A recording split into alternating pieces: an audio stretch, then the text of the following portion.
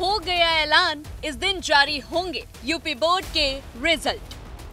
बच्चों का इंतज़ार हुआ खत्म, आ रहा मेहनत का परिणाम। यूपी बोर्ड की परीक्षा में शामिल 55 लाख से अधिक स्टूडेंट्स बेसब्री से रिज़ल्ट का इंतज़ार कर रहे हैं। वही नतीजों की अगर बात करें तो यूपी एमएसपी की आधिकारिक वेबसाइट upmsp.edu.in और यूपी रिज़ल्ट डॉट upresults.nic.in और upmspresults.up.nic.in पर जारी किए जाएँगे। परीक्षा का आयोजन 22 फरवरी से 9 मार्च 2024 तक किया गया था। लेकिन ऐसे में हर किसी को रिज़ल्ट का इंतज़ार है। लेकिन सवाल ये है कि आखिर कब तक परिणाम जारी किए जाएँगे? मीडिया रिपोर्ट के अनुसार यह 25 अप्रैल तक होगा।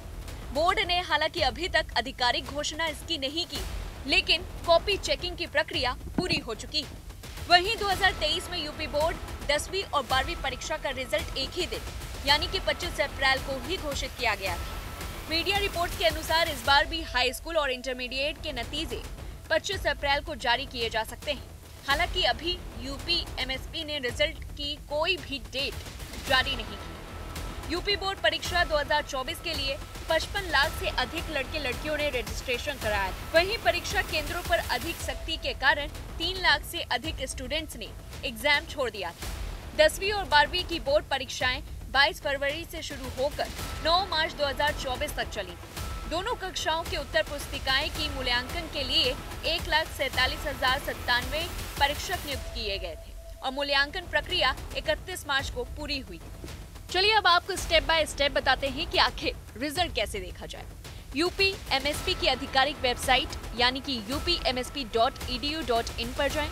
दूसरा होम पेज पर दसवीं रिज़ल्ट 2024 बारहवीं रिज़ल्ट 2024 के लिंक पर क्लिक करें। तीसरा, अब स्टूडेंट रोल नंबर और जन्म तिथि दर्ज करें। पांचवा रिज़ल्ट आपकी स्क्रीन पर आ जाएगा।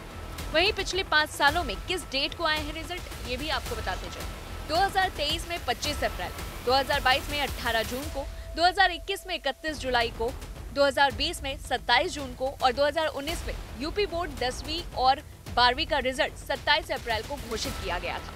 अब ऐसे में देखना होगा कि आखिरकार 2024 में जो दसवीं और बारहवीं का रिज़ल्ट आना है, वो किस डेट को आएगा? क्योंकि देखा जाए तो बात की जा रही है 25 अप्रैल की। हो सकता है कि 27 अप्रैल को भी रिज़ल्ट घोषित किया जाए। इस पूरी रिपोर्ट को लेकर के आपकी क्या कुछ राय है, हमें कमेंट बॉक्स में ज़रूर बताएँ और ऐसी तमाम बड़ी खबरों से जुड़े रहने के लिए देखते रहिए न्यूज़ वन इंडिया।